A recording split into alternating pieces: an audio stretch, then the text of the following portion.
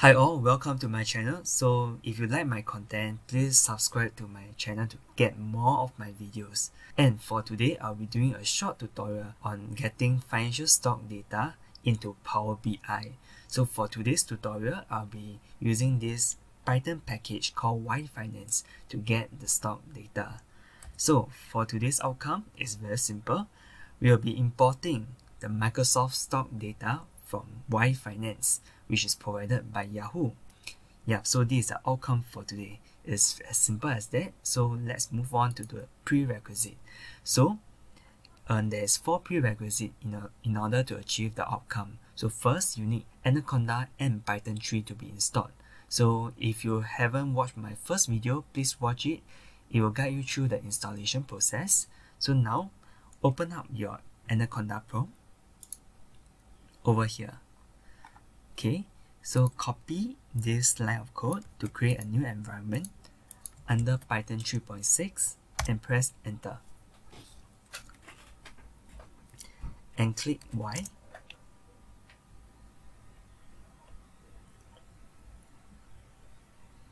Okay, so now you need to activate your yFinance environment. And now, pip install yFinance over here. Okay, so once you are done, you need to pip install the matplotlib library. Okay, so once you are done, we need to go Power BI. Okay, so for Power BI, just open it up. Okay.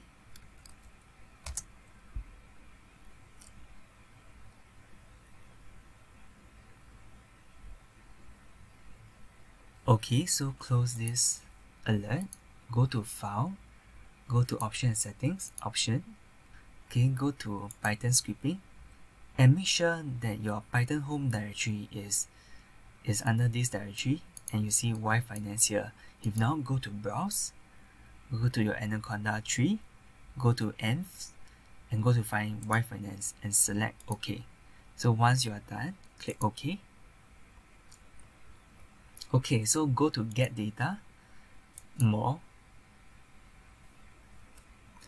Go to search python.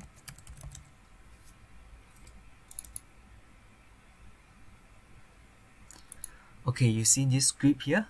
Go to my slides copy and paste this code.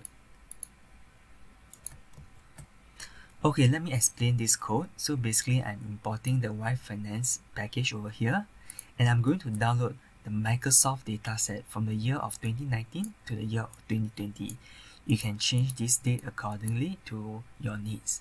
So I'm converting the dataset index into date and also add in another field to identify that this data is actually Microsoft stocks. So after which, just click OK and let it load.